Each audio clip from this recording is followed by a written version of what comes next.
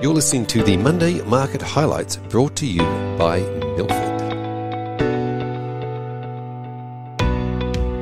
Good morning. It's Monday, the 27th of March, and I'm Kate from Milford.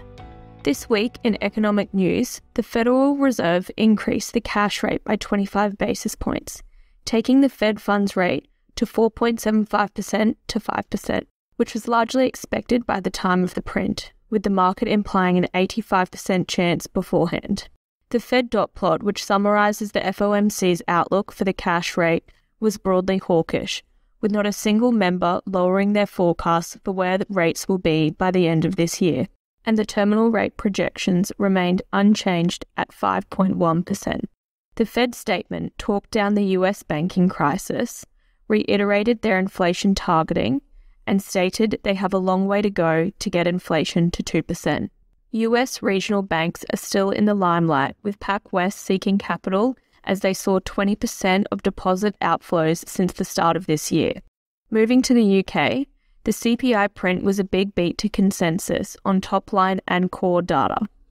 Top line was 10.5% year on year, compared to expectations of 9.9%, and the core reached 6.2% versus 5.7% expected. The drivers of the higher CPI print was higher food and drink prices and increases in the services sector inflation. Off the back of the hot inflation print, the Bank of England increased their cash rate by 25 basis points, taking the cash rate to 4.25%.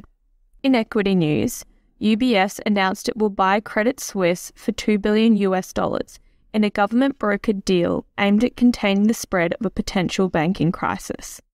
The all share takeover is at a 75% discount to Credit Suisse's previous close price. UBS originally offered 1 billion US dollars. However, this deal was refused. The Swiss National Bank has offered UBS a $100 billion liquidity line and granted them a $9.7 billion guarantee on Credit Suisse losses. On the back of this takeover, Credit Suisse's additional Tier 1 bonds were written down to zero, while equity holders will still receive some compensation. AT1 bonds are a type of convertible bond, which typical hierarchy of losses which suggest ranks higher than equity when banks fail. But because Credit Suisse's demise has not followed a traditional bankruptcy, apparently the same rules do not apply. However, other banking regulators in the EU have reassured AT1 investors more broadly that they would take priority over shareholders in the event of future bank crises. In other equity news, fintech giant Block share price fell 15% in New York trading after Hindenburg Research released a short report that alleged the company's Cash App is enabling fraudulent behavior. In a statement, Block responded with, we have reviewed the full report in the context of our own data and believe it's designed to deceive and confuse investors. And they will be working with the US Securities Exchange Commission and explore legal action against the Hindenburg research.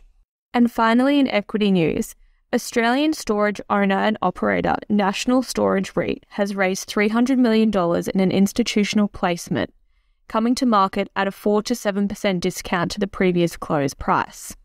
The funds will be used to improve the balance sheet and support developments and acquisitions. Turning to the week ahead, the Australian retail sales print is expected to decline to 0.4% from 1.9% previously. We can also expect the Australian monthly CPI data print. Consensus is forecasting CPI to be 7.1%, down from 4.7%. Over to the US, we will get the US House Price Data Index print, which is expected to be negative 0.2% month on month and to be 5.7% year on year. The US Conference Board consumer confidence data will also come out, which measures the level of confidence in the economy. It is expected to decline from 102.9 to 101. And finally, fourth quarter US GDP data will be released, which is expected to be 2.7%, this is down from 3.3% previously. Thank you for listening, and we will see you next week.